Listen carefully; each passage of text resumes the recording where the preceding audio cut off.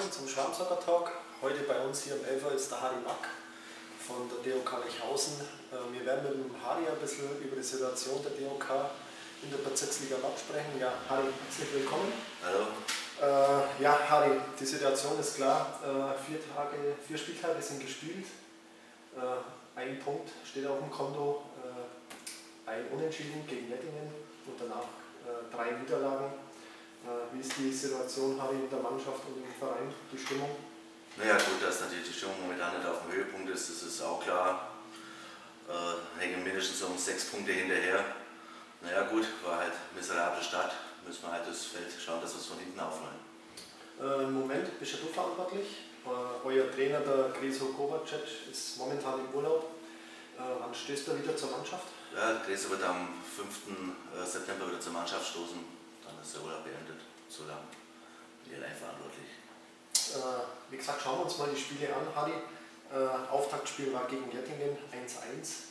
Danach drei Niederlagen gegen äh, Bockheim, Oberndorf, zuletzt gegen Neuses im Derby 2-0 unterlegen. Äh, zufrieden kann man da nicht sein, oder? Na, sicher kann man nicht zufrieden sein, das ist klar, dass die Punkte fehlen und Fußball ein reines Ergebnisspiel ist.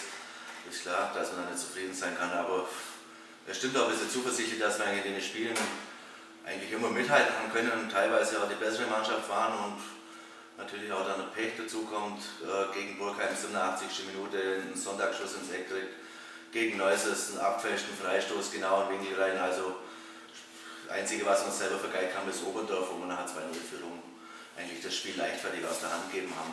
Aber wie gesagt, wir haben mit allen Mannschaften etwa mithalten können. Es fehlt uns momentan noch ein bisschen die Cleverness, die Alternativen, durch, bedingt durch Urlaub und Verletzte. Also das kann man momentan also vom Kader her ziemlich eng daher. Die Mannschaft hat ja etwas ein neues Gesicht bekommen in dieser Saison. Was auffällt, ihr habt äh, fünf Spieler aus dem Jugendbereich übernommen, die jetzt im Kader der ersten Mannschaft sind. Äh, reicht der Kader die Qualität, um am Ende doch dann vielleicht irgendwo im gesicherten Mittelfeld zu landen?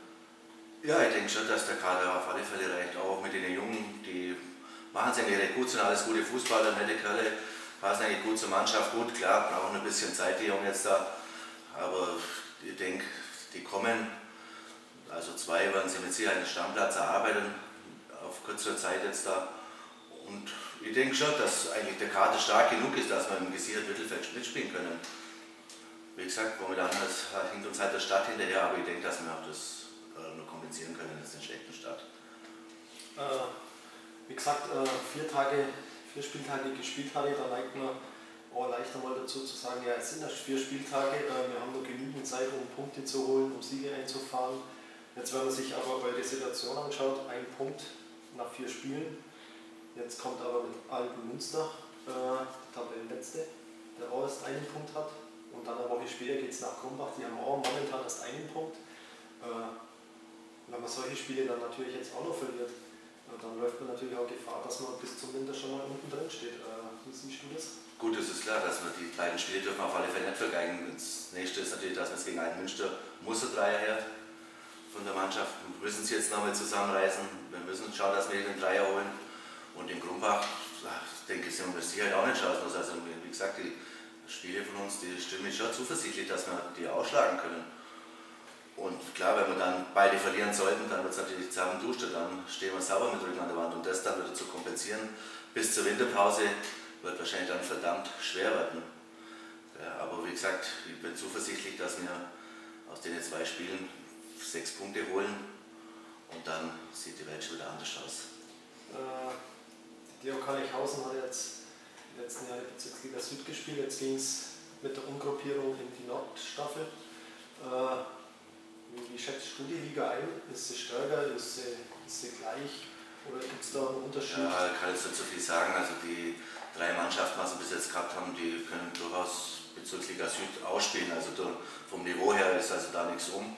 Wir sind Neues Kämmer, die waren letztes Jahr mit uns in der Bezirksliga Süd, die sind stark wie eh und je.